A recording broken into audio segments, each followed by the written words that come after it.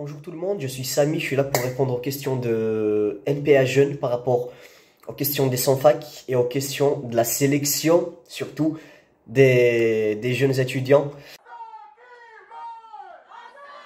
On a constaté beaucoup, plus de des refus automatiques, mais pas que. Il y a aussi la question où on nous dit directement face à face que ce, cet étudiant-là a été déjà traité pour la première fois, on l'a refusé, donc on va refuser de le, retraiter carrément. On va pas donner la chance aux étudiants de faire des recours où, où on nous dit que voilà, on l'a déjà traité, donc on est pessimiste car on peut pas obliger la commission pédagogique de retraiter des dossiers alors que c'est leur travail.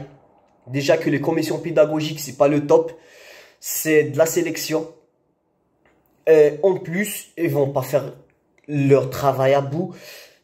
Donc, c'est un vrai foutage de gueule. On soit parce que à quoi ça sert les recours? Ça sert à réexaminer. Mais pour eux, ils disent qu'on peut pas obliger. Alors, vous pouvez, ils peuvent obliger les, un étudiant à quitter la fac, à aller voir ailleurs, à perdre carrément son avenir, que d'obliger quelqu'un à faire son travail, à faire pleinement son travail un pays qui est défini comme puissance mondiale, attention, oui, c'est une puissance mondiale, mais où on va mépriser les jeunes de, leurs études, car, soi-disant, on donne des milliards d'euros aux entreprises pour créer des, emplois, pourquoi ne pas aider les universités justement à créer beaucoup plus de places en licence, en master? On pense pas à l'avenir de, des jeunes. Pourquoi? Donc, euh, le ces problèmes-là, ça vient de ça vient de la sélection. Et la sélection, elle vient d'où? Du, Des manques de moyens. Les moyens, aujourd'hui, qui peut donner les moyens? Déjà, c'est d'arrêter. Les moyens, on va, on va les avoir.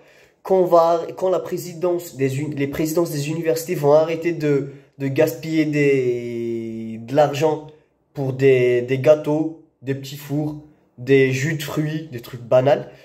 Et aussi euh, au gouvernement, désolé, mais on va pas donner de, des milliards et des milliards d'euros aux entreprises et on va, carrément zapper l'université. L'université de nos jours, c'est carrément primordial. C'est carrément, si je peux dis pas essentiel.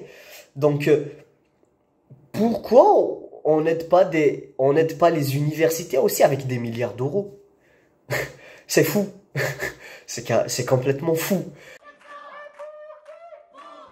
Alors, pour gagner les inscriptions, c'est très simple. Il faut une vraie mobilisation, mais il faut vraiment une mobilisation, des manifestations, des journées de grève, s'il le faut. Des, il faut faire chier la présidence en soi. Il faut euh, médiatiser la question de la sélection et des sans-fac.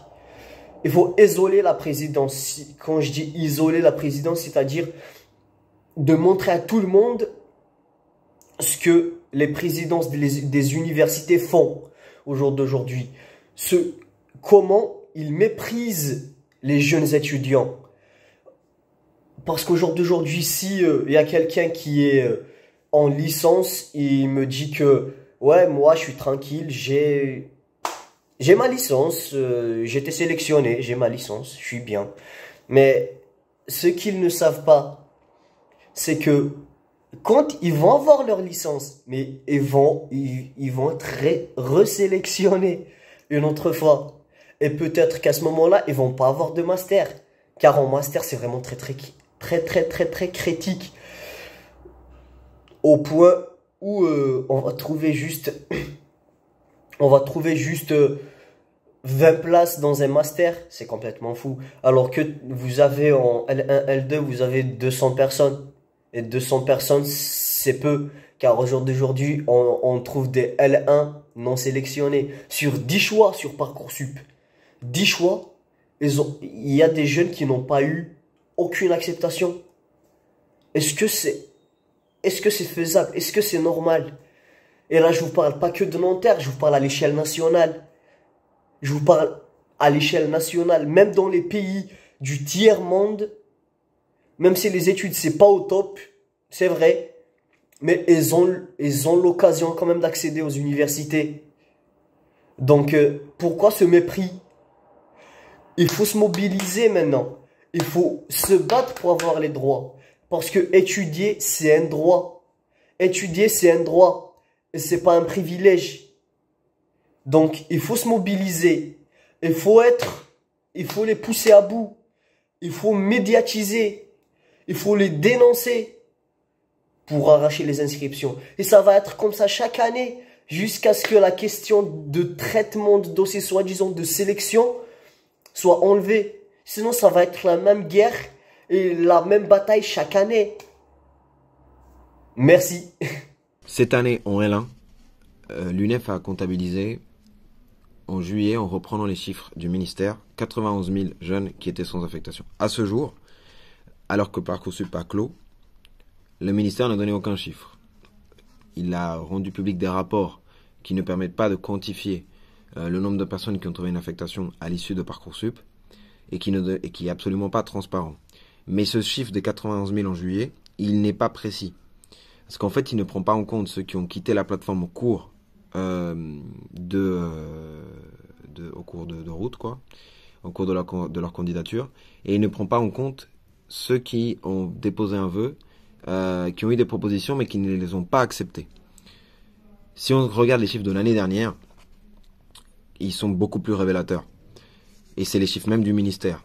L'année dernière, il y avait eu 950 000 jeunes qui avaient déposé un vœu sur la plateforme Parcoursup et sur ces 950 000 jeunes, il y a à peu près 285 000 qui, à la fin de Parcoursup, donc fin septembre, avaient soit quitté la plateforme, soit n'avaient reçu aucun vœu, soit avaient reçu des vœux, mais ne les avaient pas acceptés. Ça veut dire qu'il y a presque, il y a 30%, c'est précisément 30% des personnes qui ont déposé un vœu sur Parcoursup, donc qui ont fait au moins une candidature, qui à la fin de Parcoursup n'ont accepté aucune candidature, soit parce qu'ils ont abandonné, soit parce qu'ils sont allés dans le privé, soit parce que ce qui leur a été proposé, et c'est la plus grande majorité, euh, n'avait rien à voir avec ce qu'ils voulaient faire, ou, était matériellement pas faisable, c'est-à-dire dans une autre ville, soit n'avait pas eu de proposition. C'est scandaleux. T'as 950 000 jeunes qui candidatent, et t'as 30%, quasi un tiers, qui n'a aucune proposition acceptable, ou qui abandonne en cours de route ça montre clairement, et c'est pas un problème de plateforme ou quoi, c'est une politique. C'est une politique consciente. Parcoursup est fait pour que les gens se disent, abandonnent la plateforme en cours de route, pour que les gens euh, aient des propositions qui sont pas acceptables, et pour que les gens lâchent l'affaire. Et ce chiffre-là, il comptabilise même pas ceux qui ont accepté des filières par défaut. Parce que le chiffre doit être extrêmement important. C'est un tri social scandaleux. Et en master, c'est pareil. Aujourd'hui, en France, il y a un million d'étudiants en licence et 580 places en master. Voilà, donc il suffit de faire le calcul pour se rendre compte qu'il y a un entonnoir conscient mis en place à l'entrée du master. C'est impossible aujourd'hui de quantifier le nombre total d'étudiants qui ont candidaté en master et qui euh, n'ont pas eu d'affectation. À ce jour, personne n'a ce chiffre, personne, parce que euh, le, le, ministère fait exprès de ne pas rendre facile le calcul de ce chiffre. Mais ça se compte par dizaines de milliers, dizaines de milliers. Et aujourd'hui, en 2021, avec la crise du Covid, la crise économique et sociale, tu as une licence, elle te sert à quoi? À rien du tout. À rien du tout. Euh, c'est comme, ça ne te garantit pas d'avoir un travail, ça ne te garantit pas d'avoir une bonne rémunération. Donc c'est normal et naturel que la plupart des jeunes aient envie de faire un master, de poursuivre leurs études, pour pouvoir en fait tout simplement euh, euh, prétendre à des meilleures rémunérations, des meilleures conditions de travail.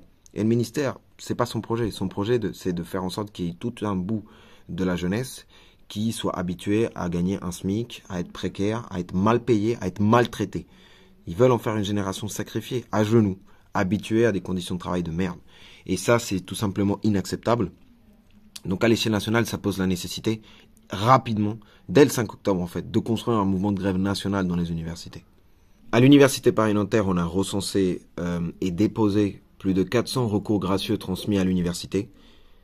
La moitié, c'est des étudiants en première année de master, L'autre moitié, c'est les étudiants en L1 ou en L2, L3. On regarde euh, un accroissement du nombre d'étudiants qui n'arrivent euh, pas à trouver euh, des poursuites d'études après la licence. Et c'est toujours des étudiants du même profil, des étudiants qui viennent soit de lycées dits défavorisés, donc dans des quartiers populaires, soit des jeunes issus de l'immigration ou directement immigrés. Il y a presque une bonne partie de nos étudiants qu'on accompagne, c'est des étudiants sans papier, qu'est-ce que ça montre? C'est que euh, sur les 400 recours gracieux, et ça c'est seulement ceux qu'on a pu recenser avec les petites mains du syndicat UNEF à Nanterre, ça montre que la politique de sélection qui est mise en place par M. Gervais Lamboni et par la ministre Frédéric Vidal, c'est une sélection sociale, un tri social, qui empêche d'accéder à l'université les jeunes issus des quartiers populaires et les jeunes issus de l'immigration ou immigrés directement.